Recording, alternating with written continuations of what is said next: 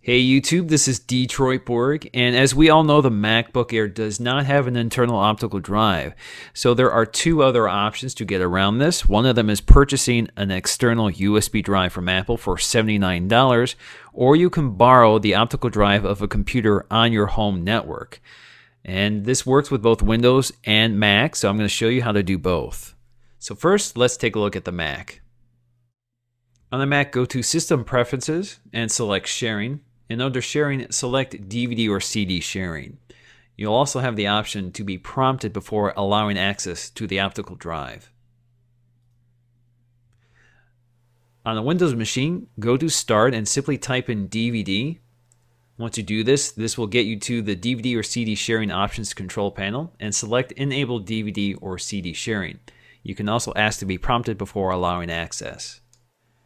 For this demo, I'm going to be using DVDs from the Caprica series, one in my HP laptop and one in my iMac, but you can use any sort of media format, from music to data.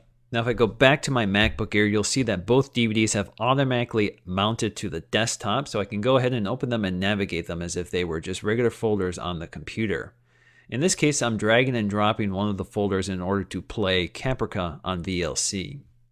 Now I should point out that because I'm using screen recording software, the video looks choppy in this presentation. However, it's quite smooth and looks like it would just on a regular computer playing through its own DVD drive.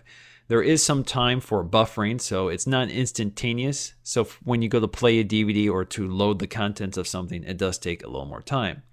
Of course, you can also go directly to Finder to navigate to the remote discs as well. Of course, you see I have two here, one from the iMac and one from an HP. I think it's kind of funny that the HP actually has an image of an old CRT monitor with the blue screen of death on it. Very cute Apple.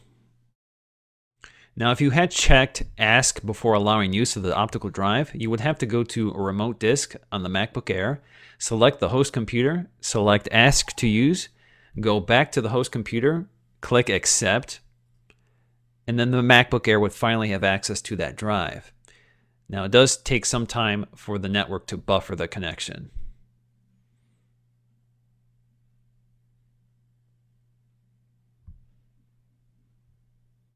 So once again guys, this is Detroit Borg with a demo of the remote disc feature for the MacBook Air. Thanks for watching.